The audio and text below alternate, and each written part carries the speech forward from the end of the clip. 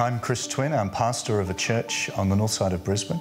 This is my beautiful bride, Jill, and uh, we've been married now 30 years. I don't believe there's any shortcut to really taking the word and allowing the word to become a part of your life and develop your faith. Faith comes by hearing and hearing by the word of God. That's something we've heard constantly from Brother Copeland. And as much as we'd like in this microwave age to have shortcuts, mm-hmm. there really isn't one. We have to hear the word. And faith comes by hearing and not having heard. Uh, I remember Brother Copeland saying, uh, You can't live on the memory of a potato. So we've got to eat fresh every day, that, that word. We don't live by bread alone, but by every word. You set up a little desk in the I garage. I set up a little desk in the, in the garage um, and just started to. I actually knew the call of God on my life and, and some of the ministry we'd done as missionaries. But in the time and season we were in at the moment, we didn't have anywhere to preach, no, no ministry to do per se. So I would I set up a, a, a desk. Actually, it was a door, and uh, my Bibles and my and my tapes and, and everything we could get our hands on from Kenneth Copeland Ministries, and just absorbed it, just saturated ourselves in the Word. I wanted what Brother Copeland had taught. I wanted to have in my own life, in my family, what faith could do for us. And the only way I knew for that to happen was through saturating ourselves in the Word of God.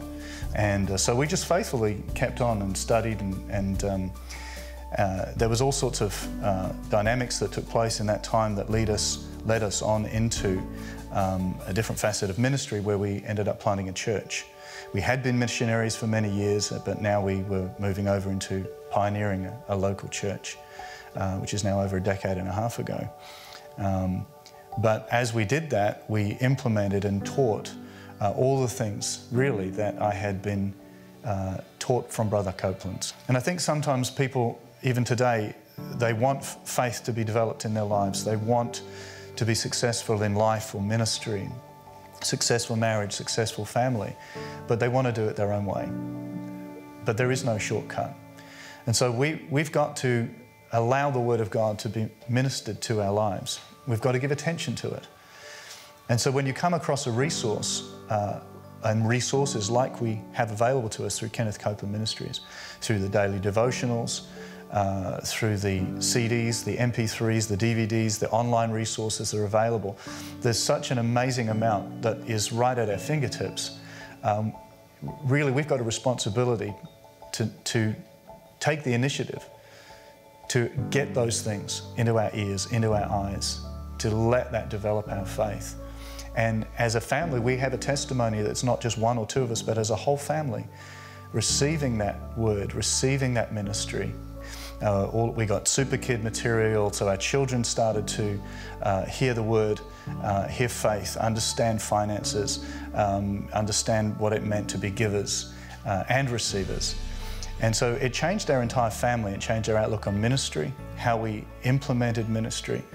Um, our children, uh, who are all now in the ministry, and there is a wonderful heritage of faith that has, has happened in our family, uh, in part due to the word that has been imparted to us. We believe uh, families are called to ministry together.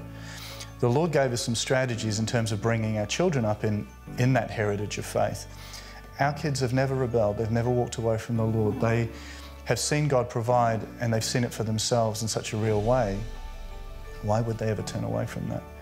And so now all three of them are in full time ministry today, loving the Lord, loving Jesus, and serving Him. And uh, it's a just it's a thrill, but we can trace it Uh, back this heritage that we have of faith in our family, having all three children in the ministry, we can trace it to the seeds and the teaching that we received from Kenneth and Gloria Copeland.